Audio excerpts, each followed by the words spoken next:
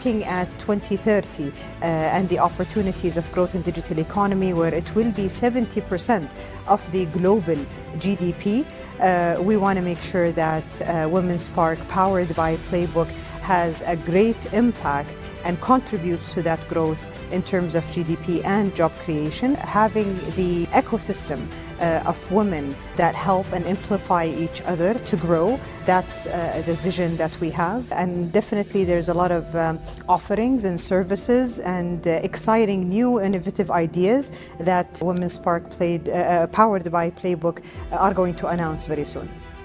Women Spark's reputation is astounding. Wherever you go around the world, you just have to say Women Spark or Dima Yahya, and people will smile and, and resonate with what they're trying to build.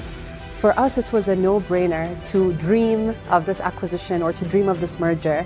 It was something that was toiling around in our heads as a, as a community and as a team. So when me and Dima connected to talk about the vision of Women Spark, there was so much alignment. It was like magic. So there's no, it's not, uh, so it's a no-brainer to look at how we can support each other and collaborate.